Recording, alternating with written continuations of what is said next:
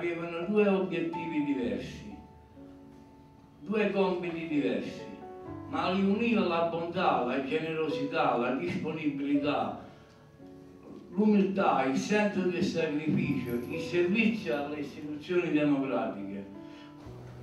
Ebbi a dire, si ricordano le vittime di quegli anni di piombo come l'assessore Pino Amato, del Cogliano e di Cancello e Carbone, niente. Perché?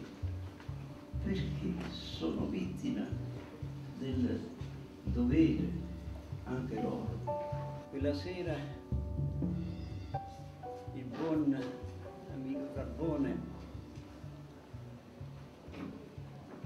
era particolarmente lieto quella sera perché mi disse Presidente vi ringrazio che stasera rientriamo un poco prima. Così io potrò insieme a mia moglie gustare di più una che ci ha già fatto preparare. Perché gli ho detto io mi ritiro prima.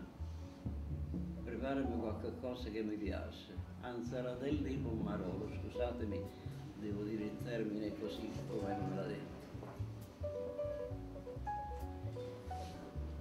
Cancello invece mi disse,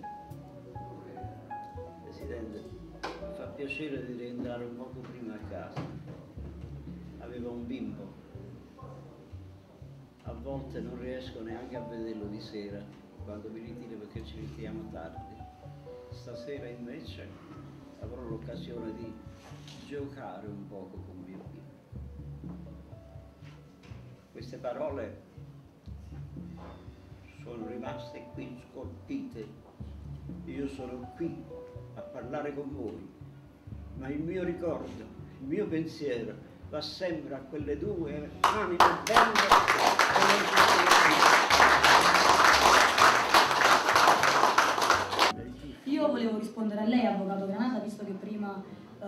chiedeva giustamente cosa ha intenzione di fare l'amministrazione comunale per le due vittime delle Brigate Rosse e per fare in modo che ovviamente quella di oggi non sia un caso isolato fine a se stesso.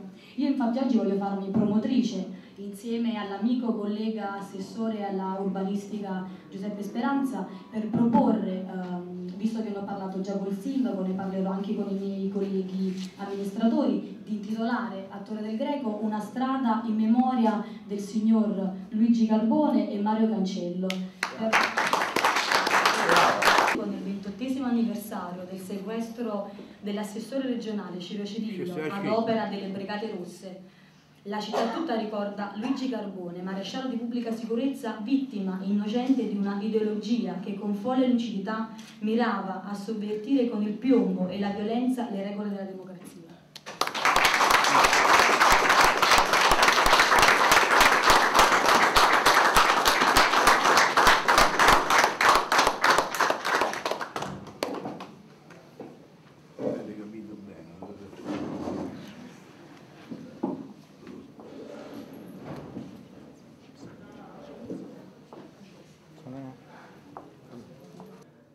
Nel ventottesimo anniversario del vile e infame agguato perpetrato dalle brigate russe nella città di Torre del Greco, l'amministrazione comunale rende omaggio a Ciro Cirillo, politico ed ex assessore della regione Campania, la cui vita rimarrà per sempre segnata dal sequestro, dalla prigionia e dall'assassinio di chi quella sera pagò con la vita la fedeltà al lavoro e allo Stato.